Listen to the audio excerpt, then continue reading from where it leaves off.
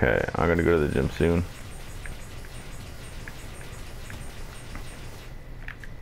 Yeah. Later.